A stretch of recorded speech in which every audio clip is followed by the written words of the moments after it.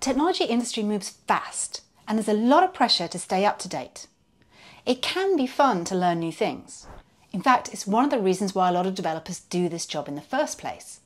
However, it can be very overwhelming. How can we realistically stay up to date with all the new things we need to know? How can we remain relevant in the ever changing landscape of tech?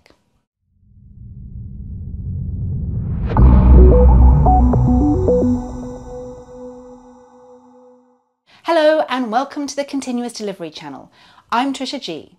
I'll be your host today. On this channel, we like to talk about what really matters to developers and to help them level up in their careers. Subscribe if you want to see more and hit the like button if you get something out of this video. Right now, the industry, in fact, the whole world is going mad for AI. AI will make you more productive. AI will speed you up. AI will enable your application to do things it couldn't do before. And of course, AI is coming for your job. It's hard not to feel irrelevant if you're not using AI or developing AI applications. If you're not using it at work, you may be wondering if it's time to learn something about AI. But you're probably also thinking you need to learn about the latest version of the frameworks or languages you're using, or maybe re architecting that legacy application to use microservices, or working to improve the continuous delivery approach of your organization. There are so many things to learn and it can induce a sense of panic, particularly if we're just starting out on our careers or looking to level up or pivot in our roles. So, step one stop. Take a breath. It's okay. In this video, I'm going to show you how to figure out which skills or technologies you need to learn or improve and some resources and techniques for learning those skills or technologies. Before I go into that, I want to take a moment to thank our sponsors Equal Experts, TransFICC, Tuple, Honeycomb, and Rad Studio. Equal Experts is a consultancy that's built on applying the ideas that we talk about here to build great software. TransFICC is a financial technology company that applies advanced CI techniques to deliver low latency routing technology. Tuple builds software that helps people pair program remotely. Honeycomb helps engineering teams understand their production systems through observability.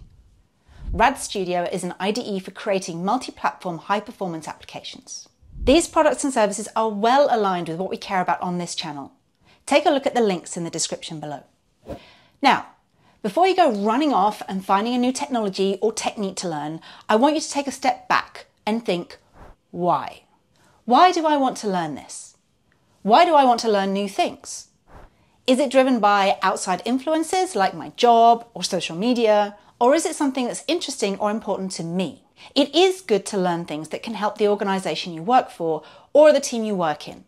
But remember, the skills you learn are your skills that you will carry with you into the future. So, when you think about what to invest time in, consider why you want to learn this technology or skill and how it will serve you now and in the future. When I'm thinking about learning something new, there may be a number of reasons why I want to do that. I might want to have fun. I like coding. I like learning new things. I'm going to have fun with it. I might want to learn it because I want to be considered as some sort of expert in my job or in the industry. I might want to learn it because I want a new job and I want to go somewhere where I need these new skills. Or I might want to learn it because I don't want to be left behind.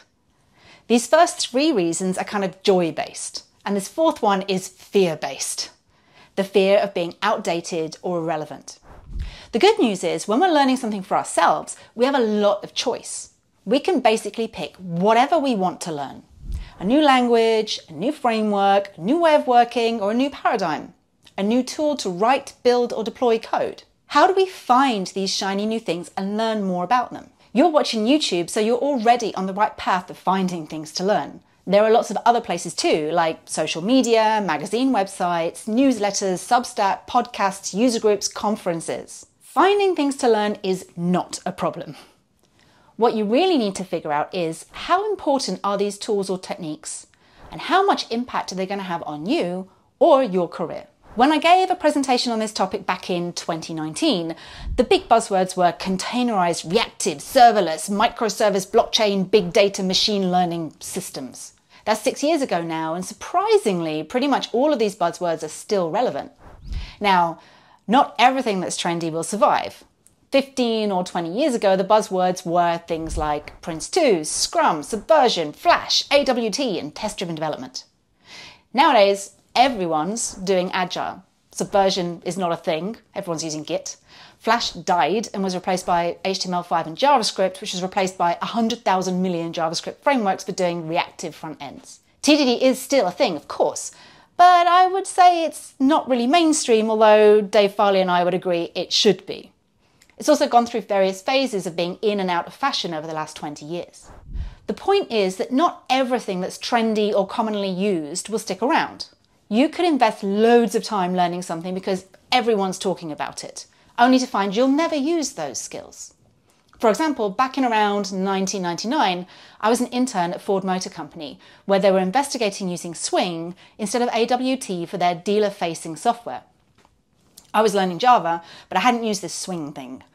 So when I went back to university to finish my degree, I spent my free time working on migrating an old Turbo Pascal application I'd written for my dad to use Java and Swing. I was super proud of this, and it took me a bunch of time. However, when I went back to Ford for my next internship only a year after the last one, they'd already moved completely away from applets and Java UIs to using JSPs and servlets swing had become almost immediately irrelevant, and I never used it once in my whole professional career. In 2025, what we're talking about is AI. I mean, I guess there must be other hot topics out there, but AI is almost the only thing that anyone's talking about. But what does it mean for us? Are we talking about using it, like using ChatGPT? Or as developers, should we be writing AI systems and utilizing AI in our applications? What are the different types of AI and what are they used for? What's RAG? What are agents? How do I use these things and why are they important to me or my team? This is where you need to do your research. When you see a buzzword, what does it mean? What is it used for? Why is it helpful? When is it not helpful? Once you've successfully identified which kinds of technologies, trends, or buzzwords you want to investigate, then you need to figure out an approach to learn more about these things. There are loads of resources for learning something new. You've got YouTube, of course, blogs and tutorials, online courses, books, open source projects on GitHub, user groups and conferences, and so on. Different people have different ways of learning. So when I've mentioned these different approaches, you don't need to use them all. Try two or three different ones, especially if you're just starting out on your journey in software engineering. And as we get older, we might find that our learning style has evolved and changed, or that there are new approaches to learning out there that we might want to try out. So Pick some combination of these things which suits you. Maybe you want a high level overview, in which case perhaps watching a presentation from a conference or a user group, live or on YouTube, is the right thing for you. I like to read blogs and articles because I can skim them very quickly and search for keywords or jump to the place that I need. But being forced to read a whole bunch of text is not necessarily something that works for everyone. Or maybe you only really learn when you're doing in which case perhaps a tutorial where you can actually implement something yourself is a good way to learn. If you choose to implement something as a pet project, these days not only do you have the amazing resource of Stack Overflow to help you, you can of course use AI, for example ChatGPT or JetBrains AI Assistant to get started with a new technology or a project. It can point you in the right direction or generate you a bit of code. You can even ask it where you're going wrong when things are not doing what you expect them to do, or ask it to explain code samples to you. I really like user groups as a way to level up. I know that user groups require you to actually leave your house or office and speak to human beings. But user groups are a really good way to have conversations about the sorts of things that you want to learn and ask questions. When you can find someone who's doing the same sort of thing that you want to do, you can ask an individual, a real human being, about the pros and cons of that particular thing. You can also take the temperature of your local community. What are people working on? What are they enjoying? What are they not enjoying? What do their companies do? Who's hiring and what are they hiring for? What's important about understanding your learning style is that you don't have to stick to any one way of learning. It might depend on the day, it might depend on your mood, it might depend on the thing that you're learning. And it's important not to beat yourself up if something's not working for you. If it's not sticking in your head or you feel like maybe you're just not getting it, it might be that today is not the day. It might be that this learning material is not the right thing for you. It might be that this particular topic is just not currently well explained. New, shiny, up and coming things generally don't have great tutorials and generally don't have a lot of information about the mental model you need in order to work with it. So don't beat yourself up if things aren't going well as you're trying to learn something new. Here are my tips for learning something new. Don't necessarily jump straight in and start writing code. This might not be the right thing. You might want to have a high level view of what this thing is before you decide whether you're actually going to invest any time in it. Figure out what your learning style is and be prepared to use different types of resources to get the idea to stick in your head. You don't have to learn everything. Just because everyone's talking about Docker, for example, doesn't mean that you have to learn Docker. I use that as an example because for years everyone was talking about Docker and I felt bad not understanding what it was for or how to use it. But there came a time when I needed to understand it. And at that point, the tutorials were significantly better and it was easier for me to pick it up quickly. Learn enough to figure out if you want to invest time in learning this topic. For example, I tried to create a demo on using Kotlin multi-platform and React Native. After a little while struggling with my demo, I realized I don't understand enough about any of these technologies. I've not used React Native and I've not used Kotlin enough to understand what's coming from the language and what's from a framework. So using a combination of technologies that I didn't understand well was not the right solution for the particular problem I was trying to solve. So learn enough to figure out if you want to learn more. And it's okay to put it to one side if it's not working for you. There are plenty of other things to learn instead. There's so much to learn. In fact, you should be picking things to learn because you want to learn that thing. Most importantly, don't panic. The industry is constantly changing, and yes, it can be overwhelming.